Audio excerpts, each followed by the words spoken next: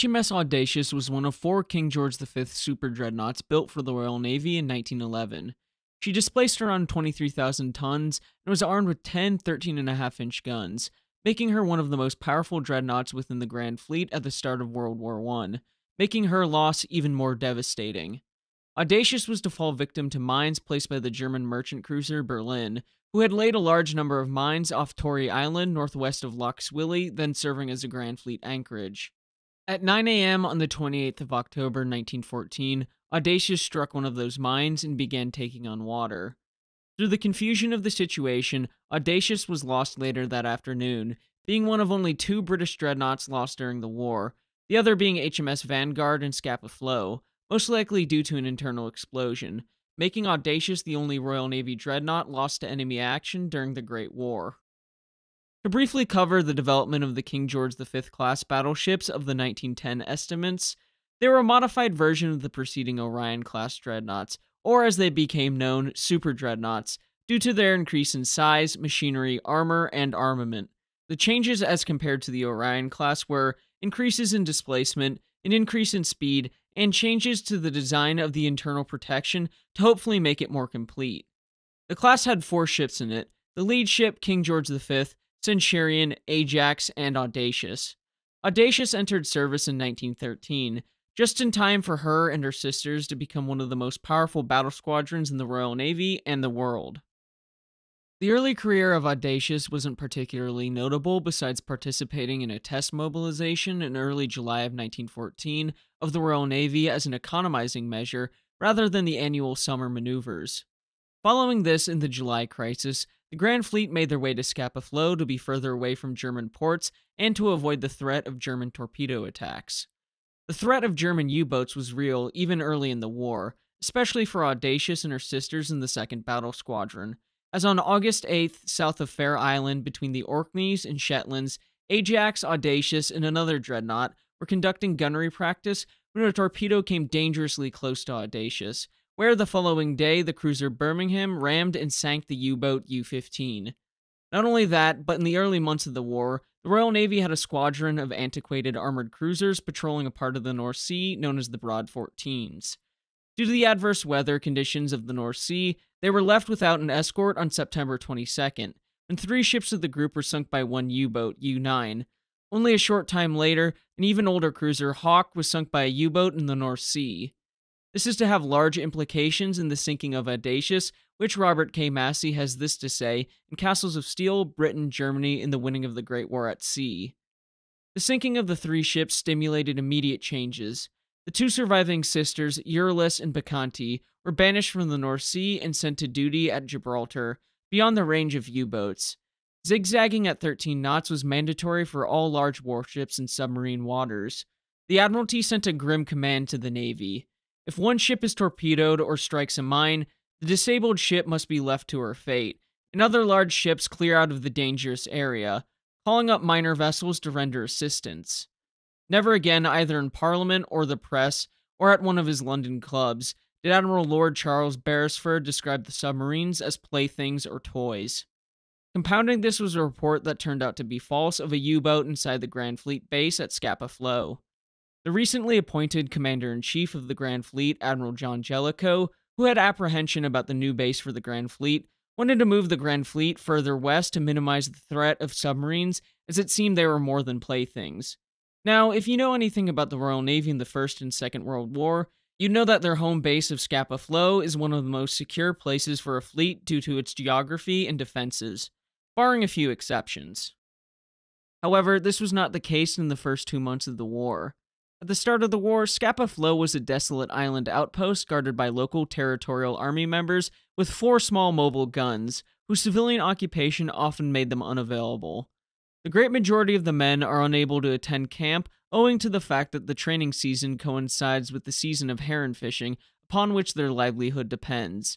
As a report from the War Office describes, even at the outbreak of the war, Scapa Flow was not ready to host so many vessels, as the small base did not have the proper facilities to house so many men and supply them and their ships. It also didn't help that Scapa Flow was not connected to the mainland by rail, meaning supplies had to be brought by ship. This meant that Admiral John Jellicoe had his ships at sea training, as he saw it as a better defense than sitting in what was essentially an unprotected harbor. Because of the recent threats, Jellicoe got the approval of the Admiralty to transfer two battle squadrons to two new harbors Loch na Keal on the Isle of Mull and the Scottish west coast, and Loch Swilly on the north of Ireland. Both harbors had narrow and easily defensible entrances, as well as a shallow bottom, making entrances for submarines difficult. However, the real threat to Audacious and the other ships of the 2nd Battle Squadron was that of mines, not torpedoes. Now, to quote Massie again, because a mine cannot distinguish the nationality of a ship that runs into it, the Hague Convention of 1907 had agreed to keep the open seas free of these lethal weapons floating beneath the ocean's surface. Belligerents were permitted to lay offensive minefields only in hostile territorial waters within three miles of an enemy's coast. Nevertheless, because the North Sea is generally shallow and therefore particularly suitable for moored contact mines, the German Navy, preparing for war, began accumulating a large stock to use them aggressively. Beginning on the war's first day, when the converted steamer König Louise laid her mines off the Suffolk coast, German ships and submarines placed over 25,000 mines in the North Sea, most of them in defiance of the Hague Convention. Commodore Tyrwhitt was appalled by this indiscriminate and distinctly barbarian mining. Expecting a short war, he noted, It'll be months before the North Sea is safe for yachting. Now, the Grand Fleet and Royal Navy were not exactly prepared to deal with the German mines. By the time Jellicoe took command of the Grand Fleet, it was only assigned six elderly destroyers converted into minesweepers to deal with the German threat. In October, the fast 17,000 North German Lloyd liner Berlin which had been armed as a merchant cruiser and was also equipped with a large number of mines, passed through the North Sea into the Atlantic with orders to mine the approaches to Glasgow on the River Clyde. Instead, the captain of the Berlin chose to mine the area off Tory Island, northwest of Loch Swilly, choosing it because it was the main trade route from Liverpool to America. On the night of the 22nd of October, Berlin laid 200 mines across the entrance to the channel used by most of the shipping in and out of Liverpool. Following this, she sailed north to attack shipping to Archangel, but was forced to seek shelter in Norway and thus interred by the Norwegian government. Still, on the 26th, Berlin's minefield claimed its first victim when the merchantman Manchester Commerce struck a mine and sank. For several days, this loss did not reach the Admiralty or Jellicoe aboard Iron Duke in Loch Swilly. On October 27th, Jellicoe ordered Vice Admiral Sir George Warrender, the commander of the 2nd Battle Squadron, to take it out for gunnery practice. These were some of the newest and most powerful dreadnoughts in the Grand Fleet, and they were going to carry out firing practice near Tory Island off the coast of Donegal. With the battle fleet consisting of the firing line, Centurion, the flagship, Ajax, and Audacious, while the target line consisted of Orion, Monarch, and Thunderer. On the morning of the 28th, the 2nd Battle Squadron with Audacious third in line maneuvered and as she was turning onto the gunnery range with the official time for the signal given to make this turn at 8:40 a.m. and approximately at 8:45, a dull explosion could be felt in the ship. An officer on the bridge believed that she had accidentally fired one of her 13.5 inch guns, but with no sign of smoke, he then thought it was another ship. There were thoughts that Audacious had been hit by a torpedo, and with the history of the ship almost being torpedoed in August, along with recent sinkings of the elderly cruisers in September, it was a logical conclusion. At 9 a.m., the order had been given to close all doors and hatches. The ship's company was at action stations. At about this time, the ship took on a slight list to port, and it was then realized that the ship might be mortally stricken. All bulkheads and doors in the vicinity of the explosion were checked to see whether they needed shoring up and to determine whether the starboard wing compartments could be flooded to compensate the weight of water in the port side and get the ship back to an even keel. Around the time of the explosion, reports from the engine room explain there had been a small splash of water in the area some 16 feet above the main deck level. Furthermore, eyewitnesses stated that the condenser in the port wing engine room lifted slightly, then dropped again when the explosion occurred. As a direct result of the explosion, the following compartments were flooded port wing engine room, port aft hydraulic engine room, dynamo room. The following areas filled with seepage X shell room, watertight compartments near the port wing engine room, bunkers on the starboard side, central engine room, junior officer's bathroom, X turret cooler spaces, after medical distribution spaces, bathroom flat, main deck abaft X 13.5 inch turret, middle deck in the area. With the plausible threat of a submarine in the area, following Admiralty orders issued after the sinking of the aforementioned Bacchante armored cruisers, Vice Admiral Warrender took the rest of the 2nd Battle Squadron away to avoid any further attacks if there was a submarine in the area. There was one confirmed thing, though. Audacious was taking on water, and lots of it. Audacious was brought out of line away from Ajax and Centurion and was put into the wind to keep her steady. She was heeling over approximately 10 to 15 degrees did not appear to be righting herself. Because of this, Captain Cecil Dampier of Audacious believed that she was sinking fast and that she needed to be abandoned. But as the light cruiser Liverpool escorting the large ships was circling the sinking Audacious, she began to settle more slowly. Finding that she could still make nine knots, Dampier decided that he was going to try to make it to Lough Swilly to try to beach her there. While trying to right the ship, the crew struggled to close many of the valves, and water could not be prevented from entering the central engine room. By 10 a.m., the water was 5 feet deep, but there was no evidence of the longitudinal bulkheads having cracked. Upon inspection, it was found that the explosion had taken place approximately 5 to 10 feet forward of the after engine room bulkhead. The port engine rooms were out of action, so it was up to the starboard engine rooms as water continually crept into those compartments. And a little before 11 a.m., the starboard compartments had to be abandoned, leaving Audacious dead in the water. While this was going on, Jellicoe, who had previously been notified, was gathering every destroyer, tug, and trawler at Loch Swilly and Loch na Keal to help Audacious and to prevent the presumed U boat from making further attacks. But until there was evidence that there was no U boat in the area, Jellicoe would not send another battleship to attempt a tow of the floundering dreadnought, the pre dreadnought Exmouth being put on short notice to go perform the tug. Vice Admiral Sir Lewis Bayly, who was in command of the other battle squadron in Loch Swilly, offered to go to Audacious by destroyer to take control of the situation, which Jellicoe agreed to. Back on Audacious by 11, all steam power had been lost, which made it difficult to ready the boats as the crew had been doing. All non essential crew were taken off the ship, but because Captain Dampier believed that the ship could still be saved, he and a work party of 250 men stayed aboard the ship. The light cruiser Liverpool and several destroyers in the area who received the distress call of Audacious, it was decided to take her in tow.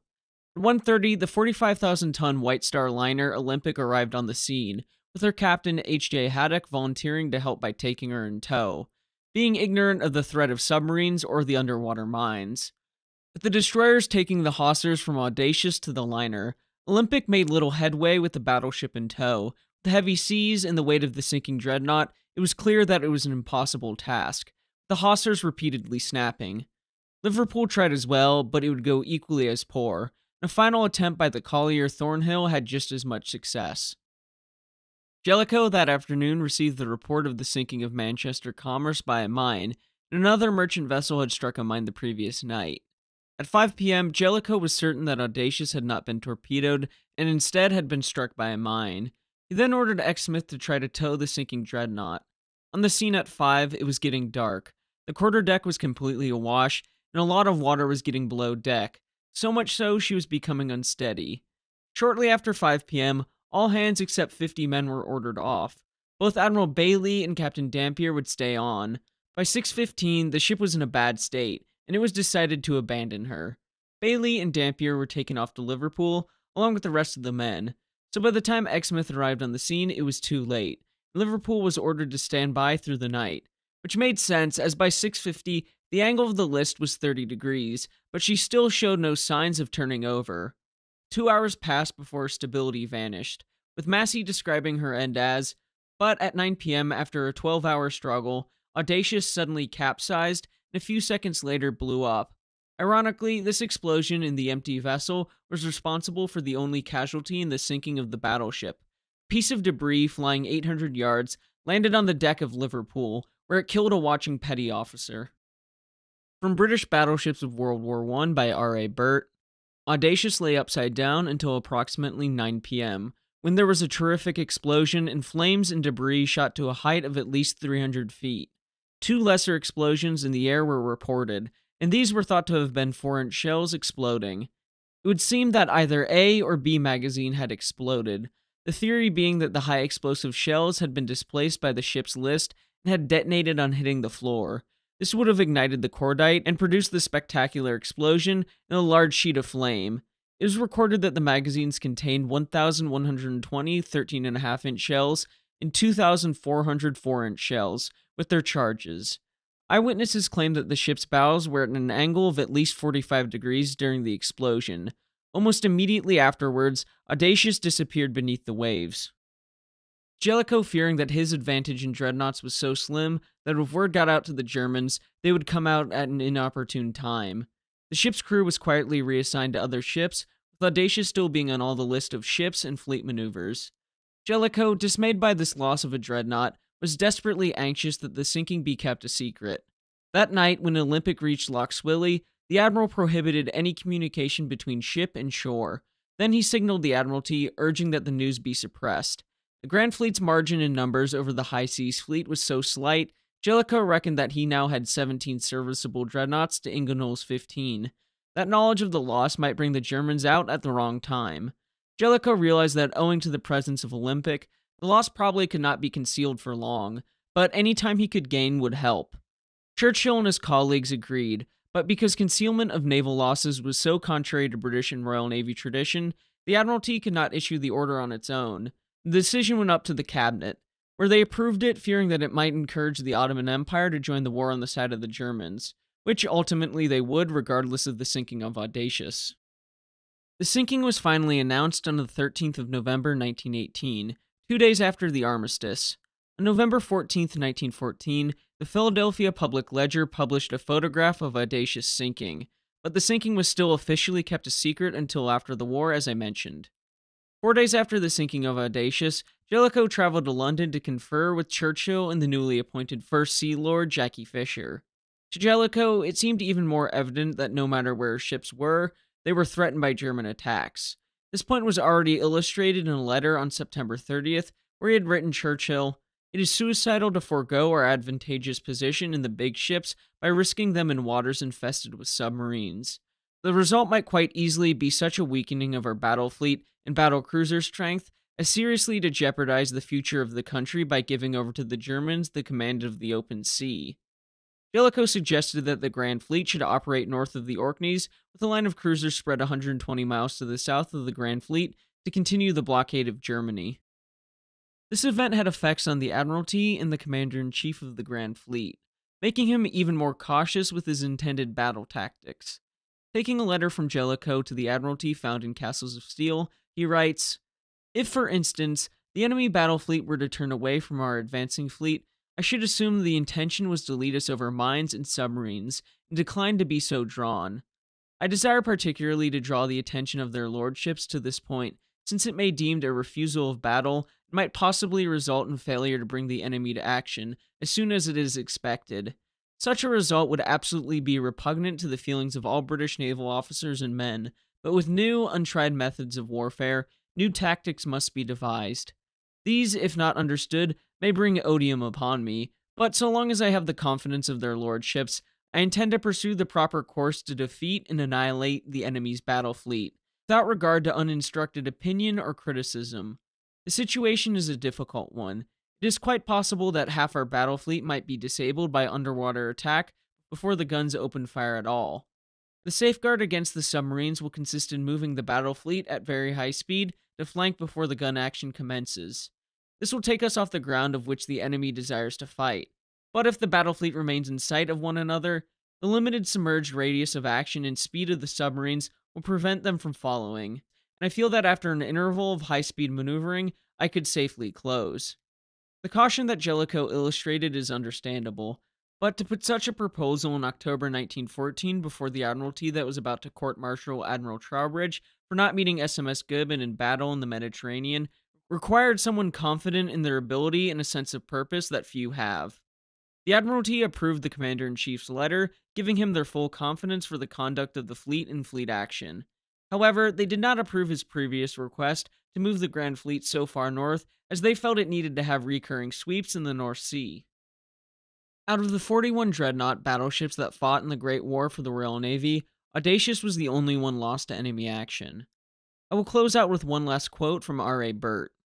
The cause was never officially confirmed, but it was thought that she had struck a floating mine displaced by Centurion or Ajax, which were steaming ahead of her. The possibility that she had been torpedoed was never ruled out. The inquiry into the loss of a particularly new battleship found that the strength of the longitudinal bulkheads was inadequate to stop water from reaching the central part of the ship, the major factor contributing to her loss. Bulkheads buckled, doors could not be closed, and valves stuck, all of which made it extremely difficult to prevent the ship from filling rapidly. Thank you all for watching, and until next time, my friends, have a great week.